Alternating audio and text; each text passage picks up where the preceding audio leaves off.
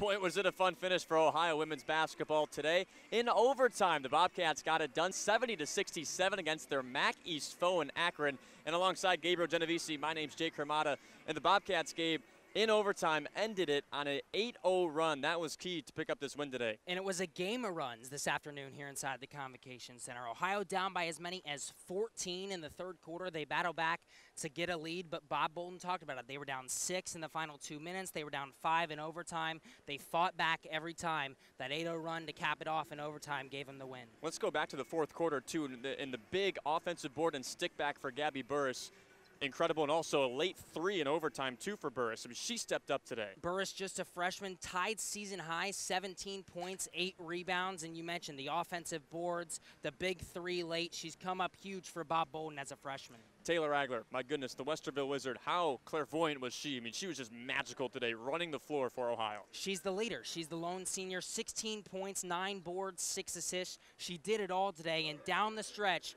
she could call whatever play she wanted down there at that last play. She called her own number and got the game-winning bucket with a second to play.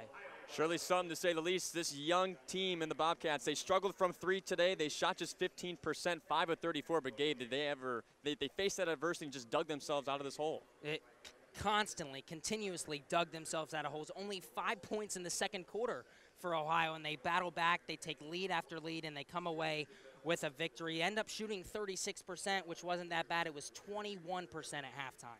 Well, that'll do it for our recap, and what a win for the Bobcats. Their second win in Mid-American Conference play. Now they're 8 and 6 overall and 2 and 1 in conference play. For Gabriel Genovesi, my name's Jake Hromada. The Bobcats go to Toledo. Have fun on the call, my friend. I will. This is Bobcat TV.